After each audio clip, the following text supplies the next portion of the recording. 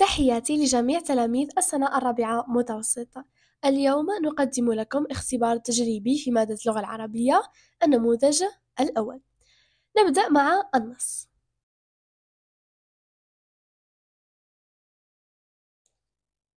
النص حدثونا عن العدل فإننا نسيناه كيف لا تنسى العدل أمة لبثت في ظلمات الظلم أحقابا وعقبت في ظل يحمومه أعقابا.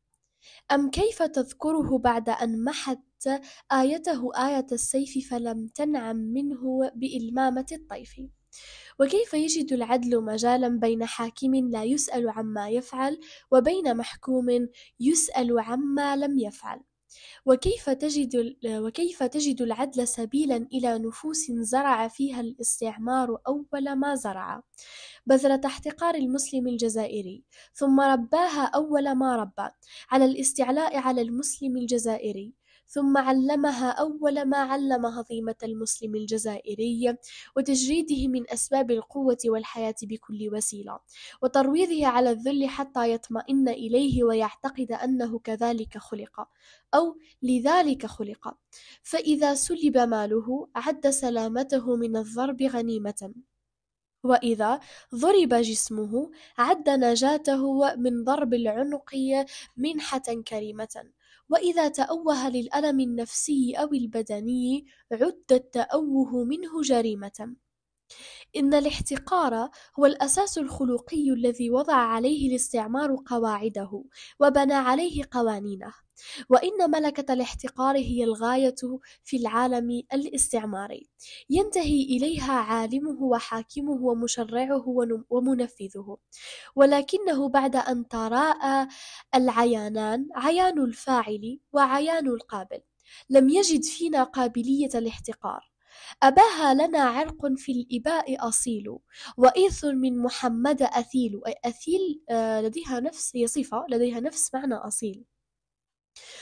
فانقلب ذلك الاحتقار على مر الزمن حقدا يصهر الجوانح وتحول بفعل الأحداث بغضا يأكل الأكباد. وكل ما يراه الرائي ويسمعه السامع من البلاء النازل علينا فذلك مصدره وهذا مورده.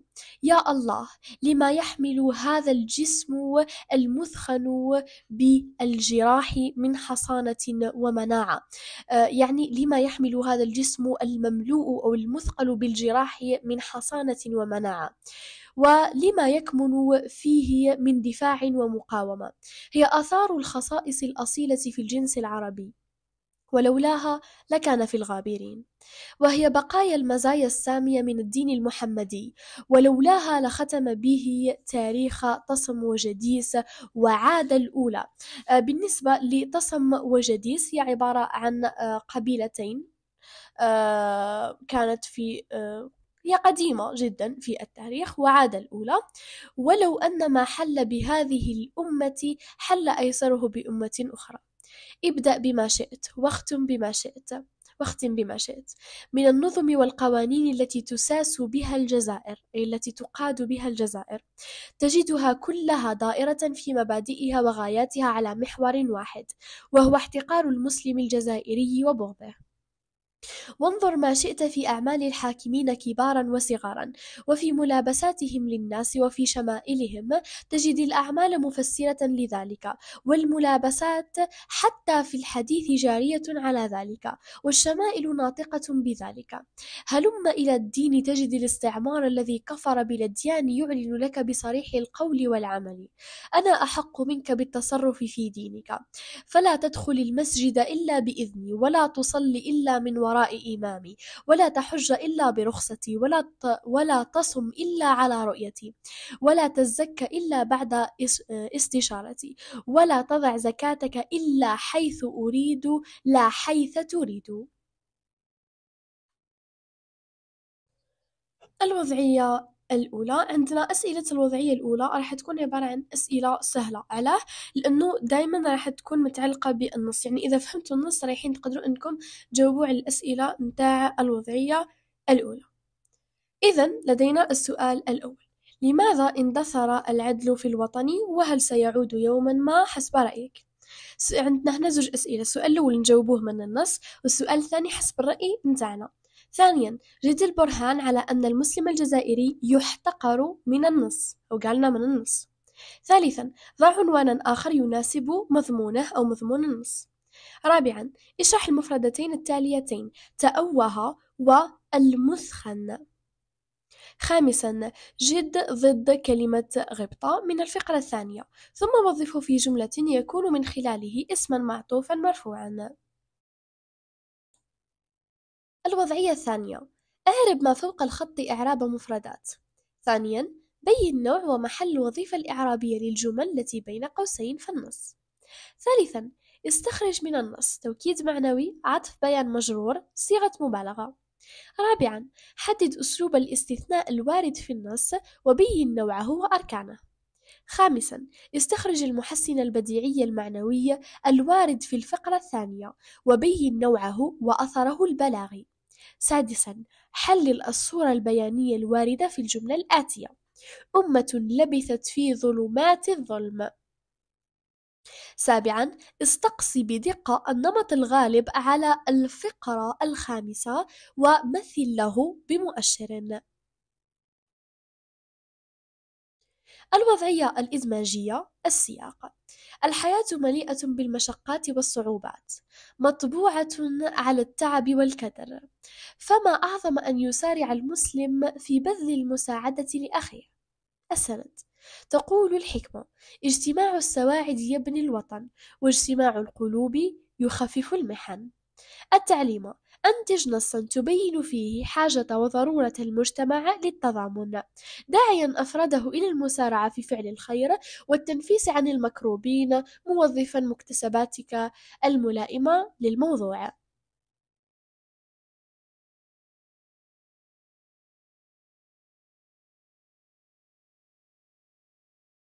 ننتقل الآن إلى جزء الإجابة.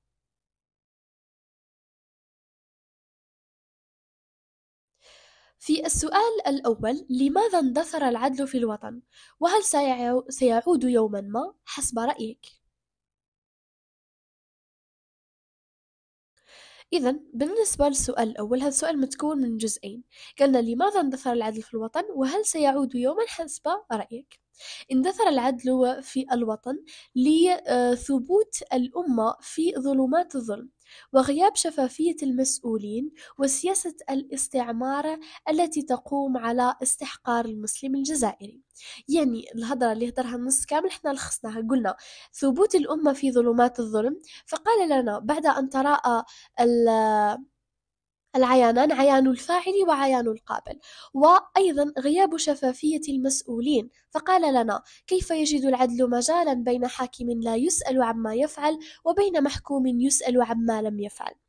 وأيضا سياسة الاستعمار التي تقوم على استحقار المسلمية الجزائري. فقال لنا من النظم والقوانين التي تساس بها الجزائر أي تقاد بها الجزائر تجدها كلها دائرة في مبادئها وغايتها على محور واحد وهو احتقار المسلم الجزائري. والسؤال الثاني راهو حسب الرأي نتاعنا يعني من عندنا.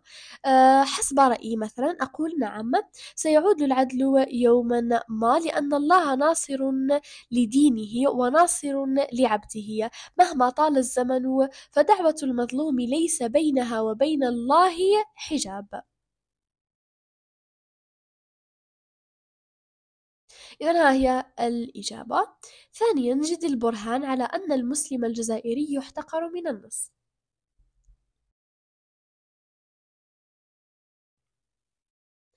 البرهان الذي يدل على أن المسلم الجزائري آه، يتم استحقاره من النص هو قول الكاتب كيف يجد العدل سبيلا إلى نفوس زرع فيها الاستعمار بذرة احتقار المسلم الجزائري؟ السؤال الثالث الآن ضع عنوانا آخرا يناسب مضمونه أو يناسب مضمون النص. مثلا أسباب اندثار العدل أو لما العدل مندثر إذا العنوان تقدروا ديروا أي عنوان المهم ما يفوتش ثلاث كلمات. شرح المفردات. تأوه بمعنى تألم واشتكى. المثخن أي المليء والمعبأ أو المثقل. آه، جد ضد كلمة غبطة من الفقرة الثانية ثم وظفه في جملة يكون آه، اسم يكون فيها اسم معطوف مرفوع.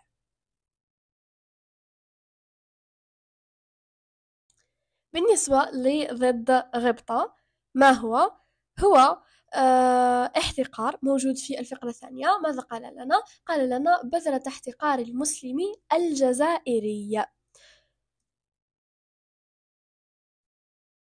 ضد كلمة غبطة هو الذل والاحتقار.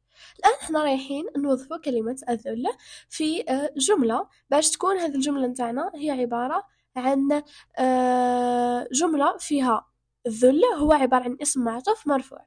عندنا جاء الكرب والذل الذل هنا هو اسم معطوف مرفوع. يعني رايح يكون راح تكون الحركة الإعرابية نتاعو هي نفسها نتاع المعطوف عليه اللي هو الكرب بغياب العدل. الوضعية الثانية واحد إعراب المفردات. بالنسبة للمفردات لدينا أولا أول مفردة. أول ما زرع بذرة احتقار المسلم الجزائري. رايحين نقولوا الآن في الجملة متاعي أول ما زرع بذرة أول ما نقدر نحيوها نخليو الفعل تاعنا. زرع بذرة. الآن زرع هو عبارة عن فعل ماضي. والفاعل ضمير مستتر. تقديره هو وبذرة هنا وش حتكون؟ نقولوا زرع ماذا؟ زرع بذرة. إذا مباشرة مفعول به منصوب. الكلمة الثانية الآن حقدا. آه لدينا فانقلب ذلك الاحتقار على مر الزمن حقدا. هنا حقدا هي عبارة عن تمييز منصوب وعلامة نصبه الفتحة الظاهرة على آخرها. آه، الكلمة الثالثة الآن لا تصلي إلا من وراء إمامي. لا تصلي هو عبارة عن فعل مضارع مجزوم بلا. أي لا تفعل إلا من وراء إمامي. آه عندنا فعل مضارع مجزوم بماذا؟ بلا علامة جزمه ما هي؟ هي حذف حرف العلة لأنه الأصل تاعها يصلي بالياء. وهذا لأنه معتل الآخر ودائما ما نسوش الفاعل في إعراب الأفعال. آه، والفاعل ضمير مستتر تقديره أنت. إذا ها هو الإعراب أمامنا.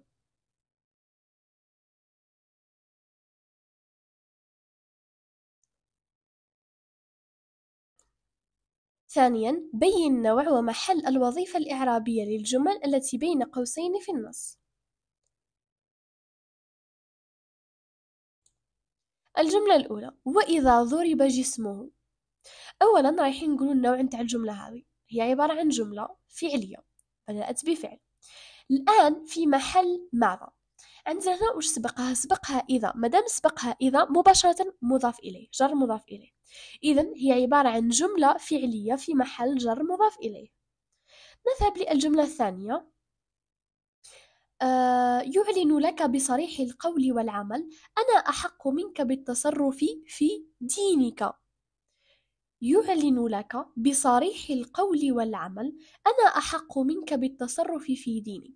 نشوف أولا عندنا هنا أنا أحق منك بالتصرف في دينك هي جملة آه اسمية هذا أولا.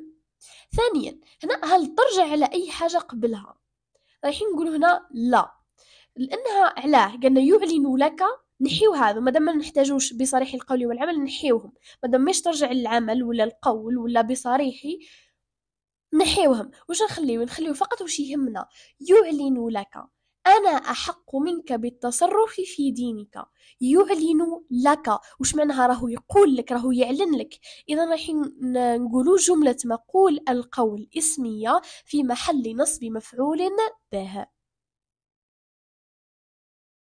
إذا ضرب جسمه جملة فعلية في محل جر مضاف إليها وأنا أحق منك بالتصرف في دينك جملة مقول القول اسمية في محل نصب مفعول به. ثالثا استخرج من النص. توكيد معنوي عطف بيان مجرور وصيغة مبالغة.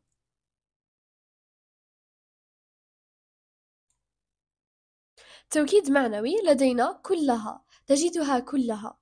ولدينا بهذه الأمة بهذه الأمة. هنا أشرت علينا قلنا عطف بيان مجرور بهذه الأمة. ولدينا آه، أيضا آه، صيغة مبالغة. لدينا كريم على وزن فعيل. ثالثا الاستخراج. توكيد معنوي عطف بيان مجرور وصيغة مبالغة. توكيد المعنوي لدينا كلها. أعيد وأكرر بأنه كلها أو أي آه، توكيد عندنا مثلا عندنا كل وعندنا نفس وعندنا إلى آخرها لازم تكون متصلة بضمير. إذا ما كانش ضمير معناها مباشرة ماهوش توكيد. آه، عندنا الآن عطف بيان مجرور بهذه الأمة. وصيغة مبالغة كريم على وزن فعيل رابعا حدد أسلوب الاستثناء الوارد في النص وبين نوعه وأركانه. أسلوب الاستثناء في النص هو لا تحج إلا برخصتي. إذا لا تحج إلا برخصتي نوعه تام منفي وأركانه لدينا المستثنى منه ضمير مستتر. حرف الاستثناء هو إلا والمستثنى هو ياء المتكلم. خامسا استخرج المحسن البديعي المعنوي الوارد في الفقرة الثانية وبين نوعه وأثره البلاغي.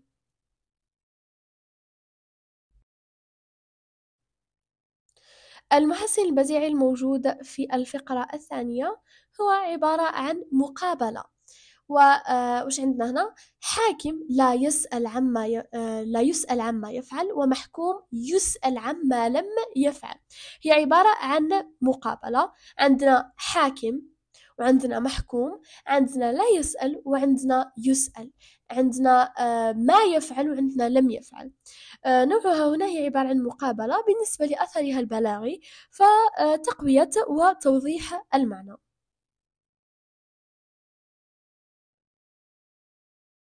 إذا ها هي نوعها مقابلة وأثرها البلاغي تقوية وتوضيح المعنى.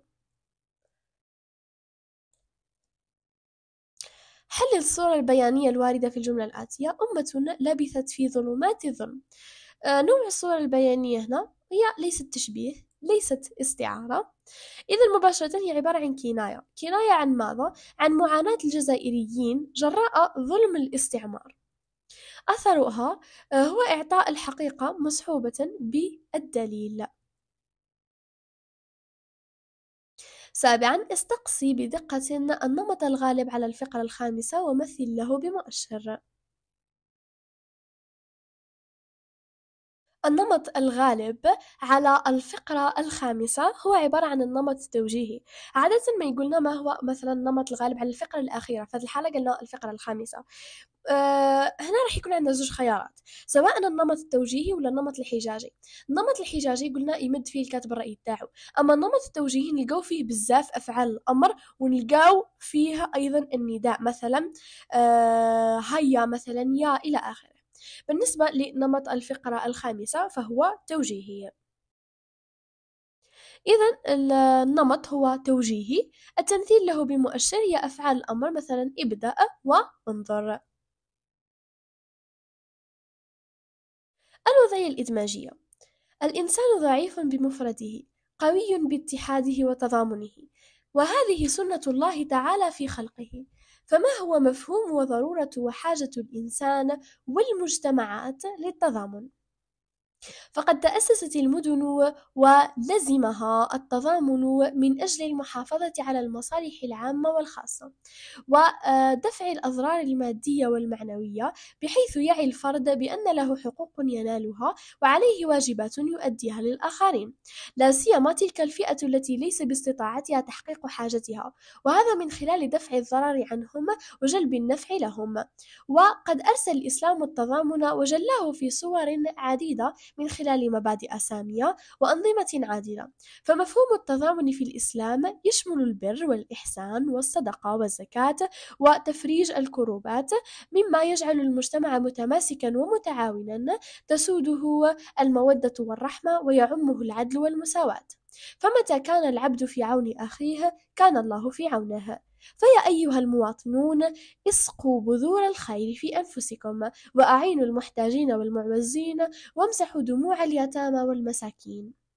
واجبروا خواطر الملهوفين وكونوا مصابيحا تنير دروب السائلين عله يطول عمر المجتمع ويعمه الاستقرار والهناء.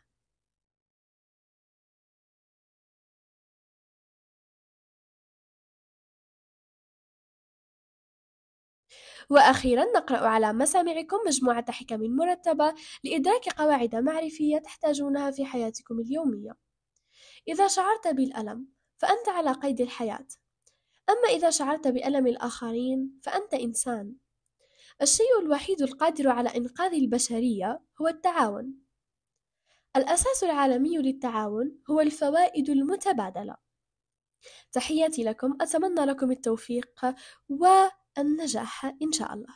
سلام.